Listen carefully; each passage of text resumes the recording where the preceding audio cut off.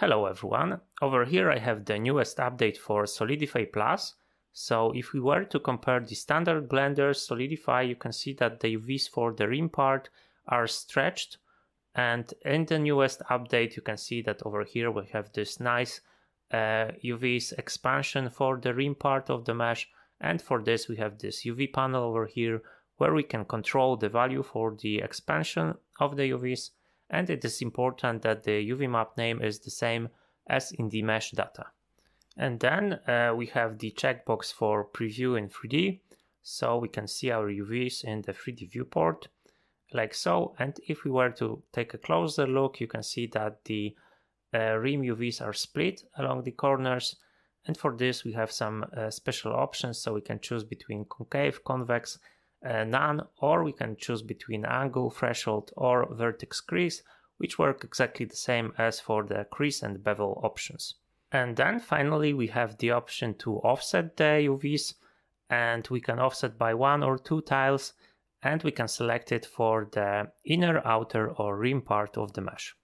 And now if we were to see it in action in one of the use cases, we have a shirt over here. Let's apply the checker texture onto it and now if we apply the Solidify Plus modifier, uh, for this we want a negative value for the thickness, so the uh, outer details uh, stay unchanged. And something like this will work. And now if we take a closer look at the sleeve, for example, you can see those nice rim UVs over there. And once again, we can control um, the expansion of those UVs in this part of the mesh and also uh, once again we can preview it in the 3D. Uh, let me actually um, apply the rotation for the object and now that it lays flat on the floor we can take a closer look at our UVs. So once again we have those nice rim UVs over here and we have those controls for where the splitting happens so we can set it to none. Uh, convex is the default value for it. Uh, I think most convenient uh, then there is the all option if need be. And once again, we can also separate uh, the outer, inner and rim parts by the UV tiles with those settings over there. And then another addition is the change to the inset and the push features. So over there we have this new drop down menu where we can change the type of the value between the absolute and the proportional to thickness so right now it's at the absolute and you can see that when I change the thickness, the push value stays the same.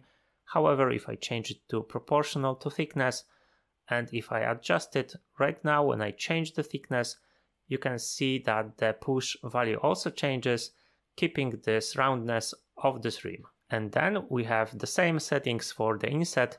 So right now it's set to proportional to thickness. And you can see that when I change the thickness, uh, the angle created by this inset stays the same. However, when I change it to absolute, right now you can see that the value of the inset stays the same, but the angle changes. And those new features for the inset will be available also in the free version of Solidify Plus. And then finally, important bug fix. So on the left, we have the previous version of Solidify Plus, and you can see that the even thickness didn't work for those uh, corners. Now it is fixed so the even thickness will work for all types of meshes. And if we actually were to uh, see the improvements of the even thickness, we can compare it to the original Blender Solidify. So if I um, add Solidify to the Suzanne on the left, and uh, let's adjust the thickness a little bit, and let's apply the Solidify Plus to the Suzanne on the right. And over there, if I choose the even thickness, and if I choose the even thickness in the Blender's Solidify, you can see that unfortunately the mesh is going crazy.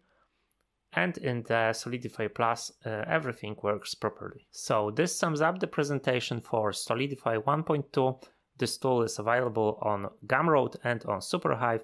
And as always, I hope you will find this tool useful. Thank you for watching.